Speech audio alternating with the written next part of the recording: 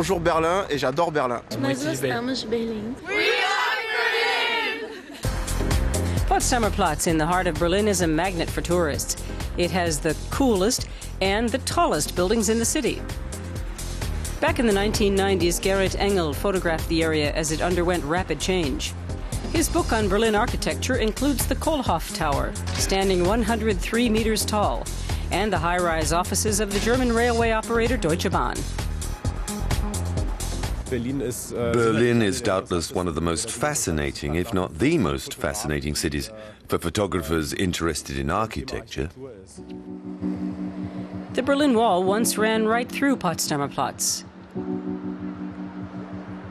until everything changed in 1989. I think it was the night of November the 12th that the first segments of wall were removed here. And it was very clear that Potsdamer Platz had huge symbolic significance, not just for Germany, but the whole of Europe. Today, a few pieces of wall stand as a memorial. Visitors can get their passports stamped with a visa for former communist East Germany. And this one is the gate stamp from Potsdamer Platz, where you are right now. So, welcome to GDR, baby. Thank you, Duncan. There you go. Bitteschön. It's a nice souvenir. The history is amazing. History. Yeah, it's great. And it's, it's really alive and vibrant. The Kaiser Wilhelm Memorial Church is one of the most famous buildings in Old West Berlin. Right nearby, Berlin's luxury department store KaDeWe, which is over a century old. Alexanderplatz was the center of former East Berlin, with its monumental television tower.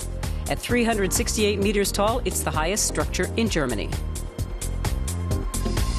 Until 1989, the Brandenburg Gate was the symbol of divided Germany. Today, it's the symbol of reunification and a popular photo motif.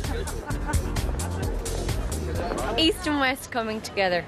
Нам понравился Берлин. Очень современный город. Another hit with visitors is the tours of the new government district, including the Chancellor's office and the Reichstag, the historic Parliament building. Since 1999, the Reichstag has once again been the seat of the German Parliament. The glass dome, designed by British architect Norman Foster, attracts some 3 million tourists a year. I like uh, the, the culture. There are a lot of museums in, in, uh, in Berlin. Berlin has 3.4 million residents and over 175 museums. The most popular of them are located on the so called Museum Island. The bust of the famous Nefertiti of ancient Egypt is one of the highlights. What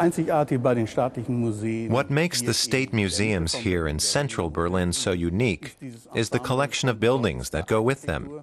You have architecture of international importance on the one hand, and then unique exhibits on the other. It was this combination that got us listed as a UNESCO World Heritage Site back in 1999. I'm proud to say we're the only museum to have made the list. Another attraction is the East Side Gallery, an original 1.3 kilometer section of the Berlin Wall that's been painted by artists from all over the world. Arts and music have become something of a theme in the former border zone along the River Spree. Henrik Tidefjord, a Swedish tour guide, tells visitors why companies like Universal and MTV have set up shop here, along with stylish business hotels and hip new venues for all kinds of events.